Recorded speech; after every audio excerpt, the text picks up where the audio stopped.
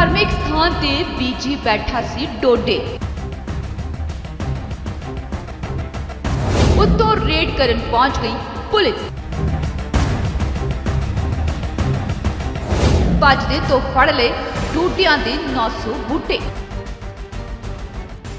ਇਹ ਤਸਵੀਰਾਂ ਇੱਕ ਕਿਆਰੀ ਦੀਆਂ ਨੇ ਜੋ ਇੱਕ ਧਾਰਮਿਕ ਸਥਾਨ ਦੇ ਵਿੱਚ ਬਣੀ ਹੋਈ ਹੈ। ਪਰ ਇਸ ਕਿਆਰੀ ਦੇ ਵਿੱਚ ਫੁੱਲ ਬੂਟੇ ਨਹੀਂ, ਬਲਕਿ ਡੋਡੇ ਬੀਜੇ ਗਏ ਸੀ। ਜਿਸ ਦੀ ਭਿੜਕ ਜਦੋਂ ਪੁਲਿਸ ਨੂੰ ਲੱਗੀ, ਤਾਂ ਪੁਲਿਸ ਵੀ ਮੌਕੇ ਤੇ ਰੇਡ ਕਰਨ ਪਹੁੰਚ ਗਈ। ਪੁਲਿਸ ਨੂੰ ਆਂਦਾ ਦੇਖ ਇਸ ਸ਼ਖਸ ਉੱਥੋਂ ਭੱਜਣ ਦੀ ਫਿਰਾਕ 'ਚ ਸੀ, ਪਰ ਪੁਲਿਸ ਨੇ ਇਸ ਨੂੰ 900 ਡੋਡਿਆਂ ਦੇ ਬੂਟਿਆਂ ਸਮੇਤ ਗ੍ਰਿਫਤਾਰ ਕਰ ਲਿਆ ਪੁਲਿਸ ਹਿਰਾਸਤ 'ਚ ਨਜ਼ਰ ਆ ਰਹੇ ਇਸ ਸ਼ਖਸ ਦੀਆਂ ਬੋਰੀਆਂ ਵਿੱਚ ਉਹੀ 900 ਬੂਟੇ ਨੇ ਜੋ ਪੁਲਿਸ ਨੇ ਜ਼ਬਤ ਕੀਤੇ ਨੇ ਜੋ ਕਿ ਨੇ ਕਿਆਰੀ ਦੇ ਵਿੱਚ ਲਾਏ ਹੋਏ ਸੀ ਉਹ ਵੀ ਇੱਕ ਧਾਰਮਿਕ ਸਥਾਨ ਤੇ ਦਰਅਸਲ ਪੁਲਿਸ ਦੇ ਵੱਲੋਂ ਇੱਥੇ ਪਿੰਡ ਵਿੱਚ ਰੇਡ ਕੀਤੀ ਜਾ ਰਹੀ ਸੀ ਕਿਉਂਕਿ ਇਤਲਾਹ ਮਿਲੀ ਸੀ ਕਿ ਇੱਥੇ ਅਫੀਮ ਦੀ ਖੇਤੀ ਹੋ ਰਹੀ ਹੈ ਅਫੀਮ ਦੀ ਖੇਤੀ ਤਾਂ ਨਹੀਂ ਪਰ ਇੱਕ ਧਾਰਮਿਕ ਸਥਾਨ ਦੇ ਪਲਾਟ ਦੇ ਵਿੱਚ ਕਿਆਰੀ ਦੇ ਵਿੱਚ ਇਹ ਡੋਡੇ ਜ਼ਰੂਰ ਬੀਜੇ ਗਏ ਸਨ, ਜਿਸ ਦੀ ਦੇਖਭਾਲ ਕਰਨ ਵਾਲੀ ਇਸ ਸ਼ਖਸ ਨੂੰ ਪੁਲਿਸ ਨੇ ਗ੍ਰਿਫਤਾਰ ਕਰ ਲਿਆ। ਇਸ ਤੋਂ ਇਲਾਵਾ ਪਿੰਡ ਦੇ ਹੀ ਇੱਕ ਹੋਰ ਵਿਅਕਤੀ ਤੇ ਵੀ ਮਾਮਲਾ ਦਰਜ ਹੋਇਆ ਹੈ, ਜੋ ਕਿ ਆਪਣੇ ਹੀ ਖਾਲੀ ਪਲਾਟ ਦੇ ਵਿੱਚ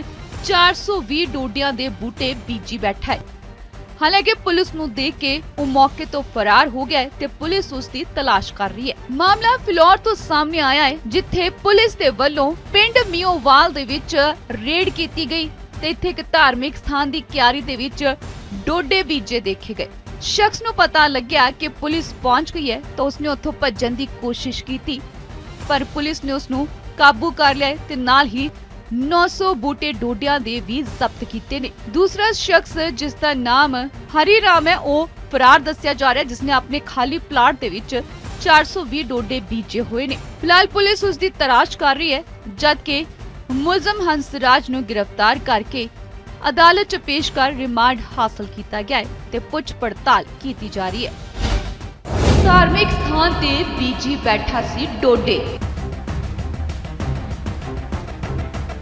ਉੱਤੋਂ ਰੇਡ ਕਰਨ ਪਹੁੰਚ ਗਈ ਪੁਲਿਸ। ਭੱਜਦੇ ਤੋਂ ਫੜ ਲਏ ਡੂਡਿਆਂ ਦੇ 900 ਬੂਟੇ।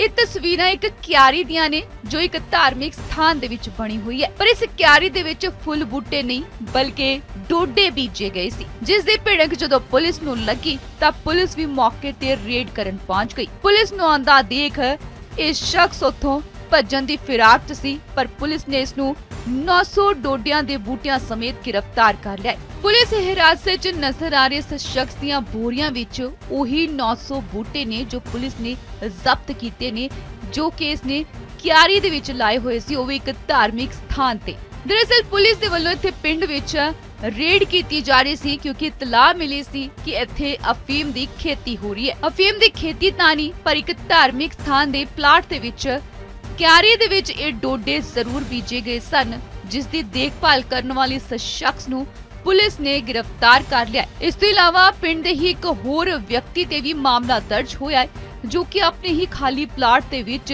420 ਡੋਡਿਆਂ ਦੇ ਬੂਟੇ ਬੀਜੀ ਬੈਠਾ ਹੈ। ਹਾਲਾਂਕਿ ਪੁਲਿਸ ਨੂੰ ਦੇਖ ਕੇ ਉਹ ਮੌਕੇ ਤੋਂ ਫਰਾਰ ਹੋ ਗਿਆ ਤੇ ਪੁਲਿਸ ਉਸ ਦੀ ਤਲਾਸ਼ ਕਰ ਰਹੀ ਹੈ। ਮਾਮਲਾ ਫਿਲੌਰ ਤੋਂ ਸਾਹਮਣੇ ਆਇਆ ਹੈ, ਜਿੱਥੇ ਪੁਲਿਸ ਦੇ ਵੱਲੋਂ ਪਿੰਡ ਮਿਓਵਾਲ ਦੇ ਵਿੱਚ ਰੇਡ ਕੀਤੀ ਗਈ। ਤੇ ਇੱਥੇ ਇੱਕ ਧਾਰਮਿਕ ਸਥਾਨ ਦੀ ਕਿਆਰੀ ਦੇ ਵਿੱਚ ਡੋਡੇ ਬੀਜੇ ਦੇਖੇ ਗਏ। ਸ਼ਖਸ ਨੂੰ ਪਤਾ ਲੱਗਿਆ ਕਿ ਪੁਲਿਸ ਪਹੁੰਚ ਗਈ ਹੈ ਤਾਂ ਉਸਨੇ ਉੱਥੋਂ ਭੱਜਣ ਦੀ ਕੋਸ਼ਿਸ਼ ਕੀਤੀ। ਪਰ ਪੁਲਿਸ ਨੇ ਉਸ ਨੂੰ ਕਾਬੂ ਕਰ ਲਿਆ ਤੇ ਨਾਲ ਹੀ 900 ਬੂਟੇ ਡੋਡਿਆਂ ਦੇ ਵੀ ਜ਼ਬਤ ਕੀਤੇ ਨੇ। ਦੂਸਰਾ ਸ਼ਖਸ ਜਿਸ ਦਾ ਨਾਮ ਹਰੀ ਰਾਮ ਹੈ, ਉਹ ਫਰਾਰ ਦੱਸਿਆ ਜਾ ਰਿਹਾ ਹੈ ਜਿਸ ਨੇ ਆਪਣੇ ਖਾਲੀ ਪਲਾਟ ਦੇ ਵਿੱਚ 420 ਡੋਡੇ ਬੀਜੇ ਹੋਏ ਨੇ। ਫਿਲਹਾਲ ਪੁਲਿਸ ਉਸ ਦੀ ਤਲਾਸ਼ ਕਰ ਰਹੀ ਹੈ, ਜਦਕਿ ਮੁਲਜ਼ਮ ਹੰਸਰਾਜ ਨੂੰ ਗ੍ਰਿਫਤਾਰ ਕਰਕੇ ਅਦਾਲਤ 'ਚ ਪੇਸ਼ ਕਰ ਰਿਮਾਂਡ ਹਾਸਲ ਕੀਤਾ ਗਿਆ ਹੈ ਤੇ ਪੁੱਛ ਪੜਤਾਲ ਕੀਤੀ ਜਾ ਰਹੀ ਹੈ।